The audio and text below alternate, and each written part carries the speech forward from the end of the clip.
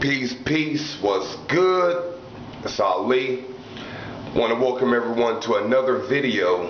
In this video, we're going to break down how to set up an ancestral altar. Um, based on the information I share, I've gotten a lot of questions in regards to the altar. And yesterday, uh, shout out to Ricardo, he said that it's time to make a video on the ancestor altar. And there's as many videos we have to make. This is one of the videos that we definitely were going to put out there for the people. So this video will give you a clear understanding on how to set up an altar. And I'm sticking mainly with the ancestor altar and we may do something in the future dealing with the deities and the gods. So um, before I begin, I'm going to recommend one book. Um, this book is called Discover Your Spiritual Parents by Michael S. DeJohnette, Building Your Spiritual Altar. And this is Dr. Mitchell Gibson. Um, you've heard me speak about him many times. Um, that's the one who influenced me to set up an ancestor altar and uh, furthermore a deity altar. This will let you know how to find your spiritual parents, the gods, the angels, the deities that uh, made up your soul but it also shows you how to set up an altar. So I'm not going to give the techniques in this book but I'm going to give you um, some reference so you can make an altar for yourself dealing with the ancestors. You can find this book at tybro.com. That's T-Y-B-R-O.com and click on products and books. And just to forewarn you, this is a $100 book, but right now he has a 20% off special, so you can get it for $80. It's, it's invaluable. You can't put a price tag on this. Um, so I'm going to show you the basic way to set up an ancestor altar. The way I like to start out with any altar is, is having something that represents the four elements. So place a candle on the altar, which represents fire. Place an incense on the altar, which represents air. Have a glass of water on the altar, which obviously represents water. And then you can place some crystals or even money, and that represents the earth. Now, you want to start out when you place your ancestors, and this is anybody that shares your blood from your father's side and your mother's side that's made a transition to the spirit realm you want to place something that represents them as far as a picture. And I'm also going to show you how you can do it in case you don't have a picture or even if you don't know any ancestors that have transitioned. So if you have pictures of ancestors, place them on your altar. Just imagine that this is a, a physical human ancestor, but that's the god Indra, who is actually one of my spiritual parents, along with the god Tahuti. So once again, just imagine that this is actually family members of physical human families. So say you only have two pictures, bam, you got that up. Now, if you don't have any pictures or you want to add um, some more um, ancestors to the mix, you can simply write their name down on a piece of paper. I'm not sure if you can read this, but at the top I have Myers family, because my last name is Myers have Stone family because my biological father's last name is Stone. I have Perkins family, another ancestor um, surname. And then I made up some names. So I have Aunt June, Uncle Joe, John Smith. You know, you can put cousins, brothers, mothers. You can write their name on a piece of paper. You can fold it up or leave it leave it unfolded and just place it on the altar. Another thing that you can do is say you had, say if you had a grandfather that you know loved tobacco, well place something that represents tobacco on the altar. So maybe like a, a pipe. So that is something else that the ancestors loved while they were in the physical realm. So you can represent that item on your altar to entice their energy to feed off of this altar. And I recommend that you go back into our video um, why set up an ancestor altar. So that give that answers some of the questions that you may have on why you need to set up an ancestor altar. And in the future, we'll do a video showing you how to give offerings. But this is something I, I actually cover in depth and give some of the secrets that I've done with the altars during our workshops. So if you're interested in something like that, make sure to go to our website, thirdeyeactivation.com, and click on online workshops. And also there we have a free article showing you how to set up an altar.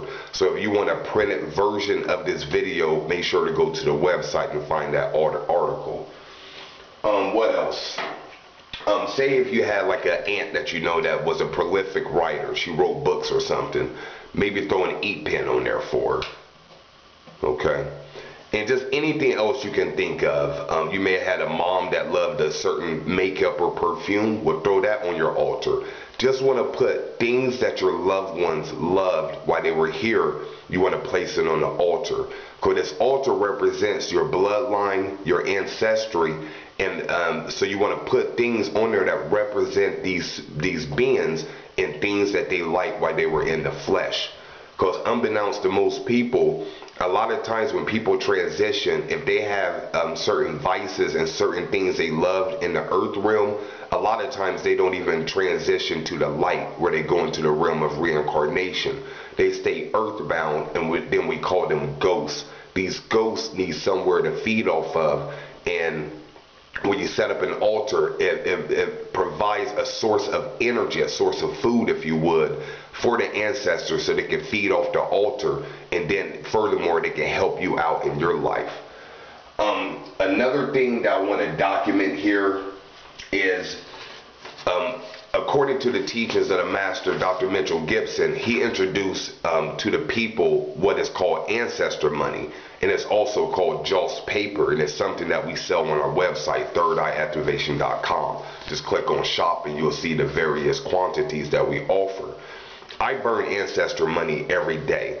And I'll make a video in regards to the ancestor money also. But you can either sit it on your altar, but I recommend that you burn it every day as much as you can afford. And it's cheaper than uh, having actual real money. But that's something you can also burn on your altar as real money. Because unbeknownst, once again, to most people, our ancestors require things when they transition and go into the spirit world. And when you give them money, they can help you out more in your life where you may get more money. This is not far-fetched. This is something that's very real, and I've had direct personal experience from this practice. Um, we offered the 100 um, Billy, the 100 billion note, which is very rare, and all the notes have the Jade Emperor on it, who is considered the deity, um, the deity in Taoism in charge of all money on earth. Um, we also have the 8 Billy, and that's something that's something else that um, is a high quantity.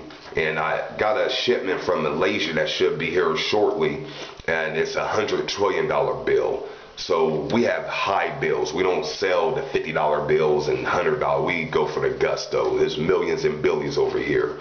So um, make sure when you set up your altar, altar, in addition to giving them food offerings and water and um, the other things that you place on your altar, make sure to burn some money.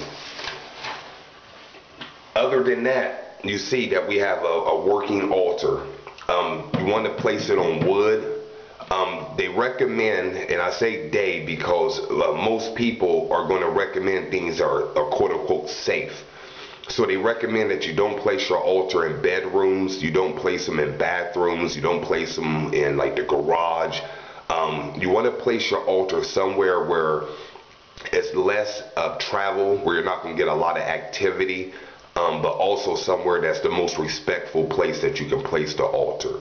Obviously, if you have a one-room efficiency apartment, then you're going to pick a corner and uh, put it somewhere that you feel is the most respectful. What I always recommend to people when they set up an altar is just pay attention to your dreams and also pay attention to your thoughts the ancestors will let you know if they want a different location. I know after so long, I switched my altar around because it was heavy on my spirit and I was getting messages that it's time to do something different. So you want to follow your intuition and make sure you pay attention to your dreams.